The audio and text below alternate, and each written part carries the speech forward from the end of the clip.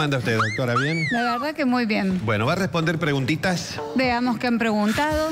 Bueno, esta es una síntesis de, muchas preguntas que llegan. Como le decimos a los doctores de nuestro programa, buscamos un denominador común.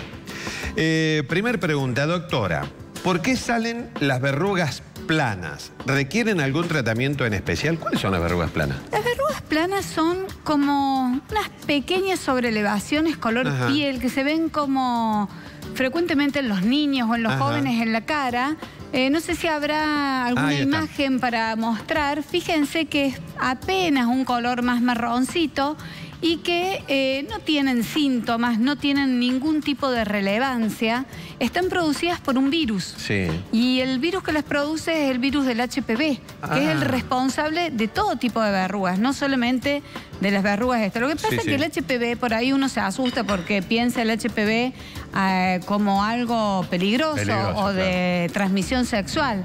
En realidad el HPV es un virus que hay como 100 variedades de este virus y dentro de estas variedades hay uno que produce la verruga plana que se da en niños, en jóvenes, que se va a ir solo.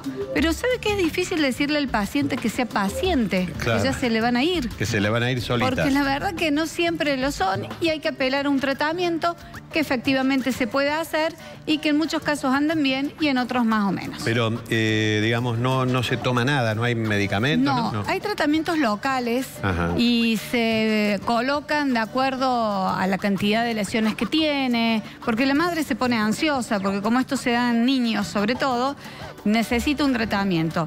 Esos tratamientos son potencialmente irritativos para la piel, es decir, la enrojecen, la resecan, la descaman. Entonces uno va tratando de lograr un equilibrio hasta que muchas veces se van y otras veces son más resistentes. Bueno, tengo otra preguntita. Doctora, eh, se viene el verano y es ideal para tomar sol. ¿Usted recomienda el uso de autobronceantes? Sí, yo recomiendo el uso de autobronceantes, pero antes quiero hacer eh, una aclaración, porque el autobronceante da color a la piel como si fuera un bronceado, pero no protege del sol, ¿no? Ah, Para que no se como confunda. Un maquillaje, digamos. No va a Exacto. No va a reemplazar el uso de protector solar, que eso es irreemplazable.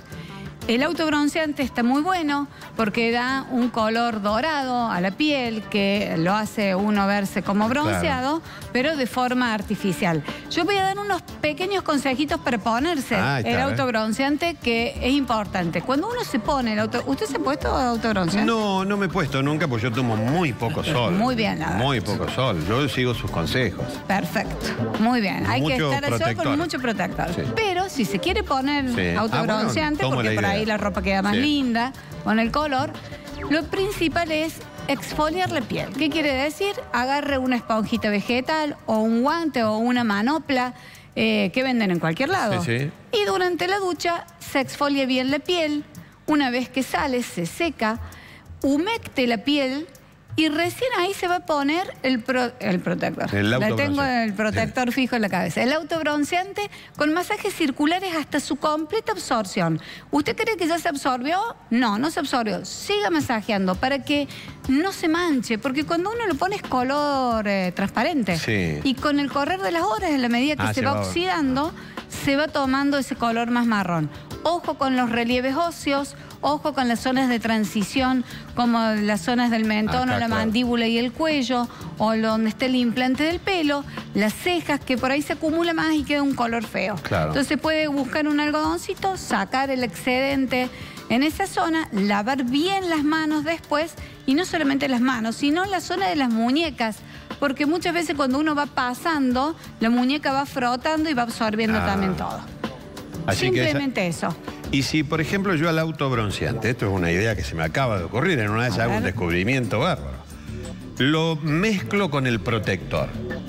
Hago una mezcla y servirá, digo yo, eh, bueno, igual hay que ponerlo parejito, se puede poner el protector mezclado con eso, habrá que ver. Vienen algunas fórmulas que ya vienen con, algún ah. autobronceante o aceleradores de bronceado y que se basan un poco en esto. ¿Y eso de la zanahoria es verdad, doctora? Sí, todos los aportes de caroteno, ah, el urucum que tenía recién el ah. doctor Sabac también. Ah, eso sirve también. Sí, todo sirve. bueno. Eh, doctora, ¿qué es el lupus? Otra pregunta. Pues esa es una pregunta ya Sí. más compleja. El lupus es una enfermedad crónica donde el organismo, nuestro sistema de defensa, el sistema de defensa del individuo, por algún motivo, desconoce sus propios tejidos. Y entonces este sistema de defensas, en vez de protegerlo, lo ataca.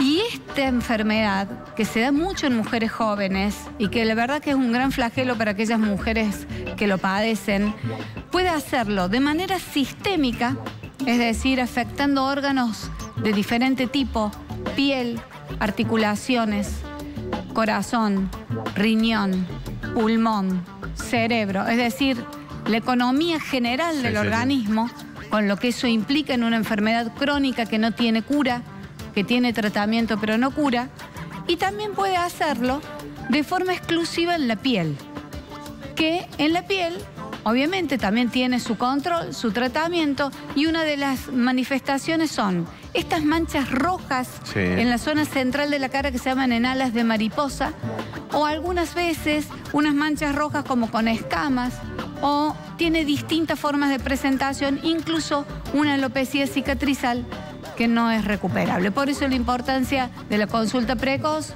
con el médico para un tratamiento y control adecuado. Muchas gracias, doctora. De nada. Muy amable. Espero que haya Me Voy a sido poner clara. el protector y seguimos. Sí, todos con protector. bueno.